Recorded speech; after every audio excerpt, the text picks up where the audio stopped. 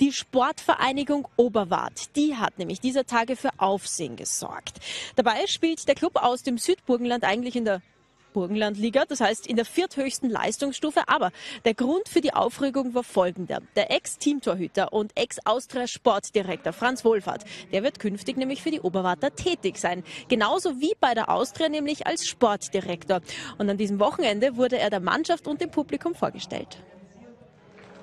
Freitagabend in Oberwart. Erstes Spiel der SVO im Frühjahr. Der Gegner heißt Kofidisch. Alle sprechen aber nur über den neuen bei Oberwart, der nicht auf dem Platz steht. Franz Wohlfahrt, ehemals Sportdirektor bei der Wiener Austria, beobachtet das Spiel.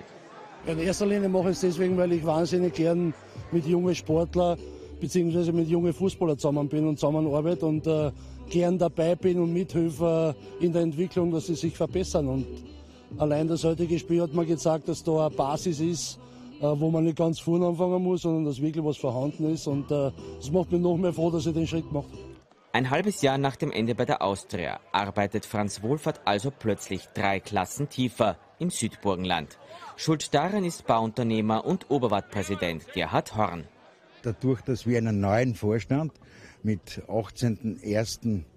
gewählt haben, und im neuen Vorstand, also habe ich Beiräte drinnen und vor allem also einen persönlichen Freund, also von Franz Wohlfahrt, der dann gesagt hat, nicht, lieber Gerhard, kannst du dir das vorstellen, also sagen wir so, dass Franz Wohlfahrt vielleicht bei, bei, bei dir, also im Verein, also in Oberwart, also tätig sein wird. Ich war hell begeistert natürlich aus der ganzen Situation. Aktuell befindet sich Oberwart im Mittelfeld der Tabelle in der Burgenlandliga. Rund 500 Zuschauer kommen bei Regen zum Spiel gegen Kofidis. Auf die Schlagzeile Wohlfahrt zu Oberwart reagieren sie auf Nachfrage unterschiedlich. Man muss ja froh sein, wenn irgendeine große Person, also mit einem großen Namen kommt, nicht? dass in der Region wieder was rührt, nicht? dass Oberwart wieder dorthin kommt, wo sie mal waren. Oder annähernd halt, sagen wir so. Naja, momentan muss man sich überraschen lassen. Man weiß nicht, was daraus wird. Aber es ist auf alle Fälle spannend einmal. Es ist ein spannendes Projekt, aber wenn so ein großer zu einem kleinen Verein kommt, bleibt eine gewisse Skepsis? Bleibt ein bisschen eine Skepsis über, ja, das ist klar, weil man nicht weiß, was dahinter steckt. Die waren um nichts besser wie mir, wie Kofinisch. Wir haben immer mit lauter einheimischen Fußball gespielt. Und dann aber was hat er keine einheimischen. Das ist der große Unterschied? Das ist der große Unterschied, ja. Skeptische Reaktionen hat auch der Präsident wahrgenommen. Ich kann nur eines dazu sagen. Er wird, er, er wird das Oberwart nicht abzocken.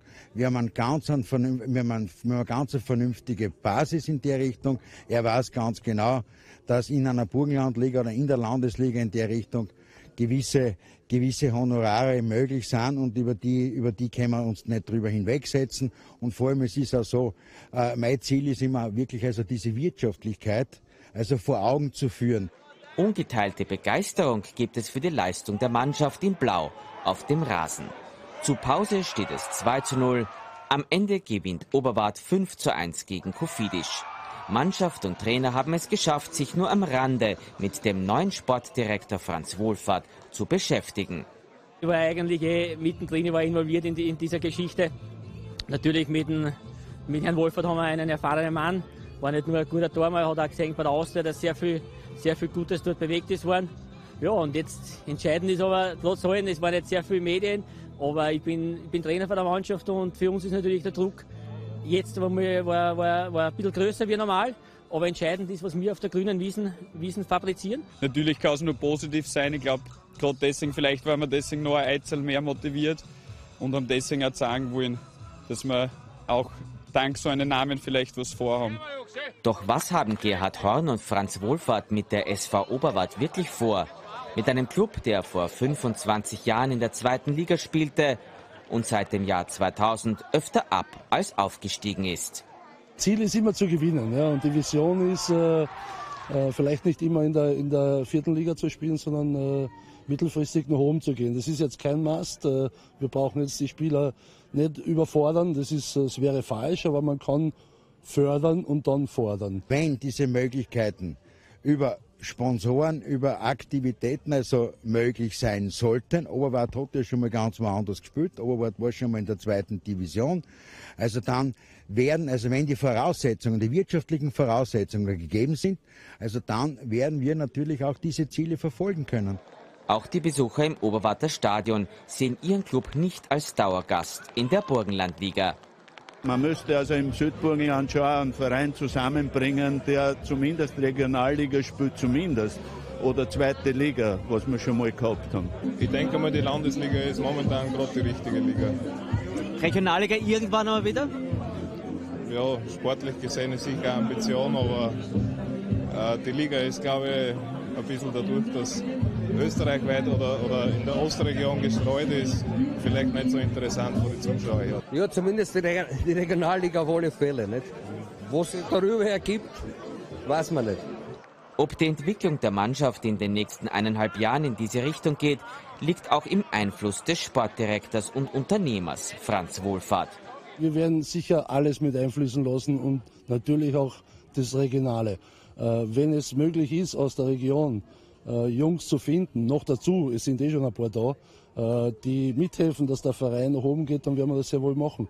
Es wird aber wahrscheinlich ja, äh, nicht nur mit den, mit, mit den ganz jungen Spielern gehen. Im Endeffekt wollen wir uns weiter, weiterarbeiten, wir wollen uns weiterentwickeln und da braucht man natürlich einen erfahrenen Mann, der sehr viele Strukturen hat, sehr gutes Marketing, sehr gutes Netzwerk und äh, das wird uns sicher in, der nächsten, in der nächsten Zeit sehr, sehr, sehr helfen. Ich glaube, dass wir wissen, dass Ober der Stadt ist, und ja, Regionalliga wird sicher auch nicht schlecht, wenn wir wieder kommen würden.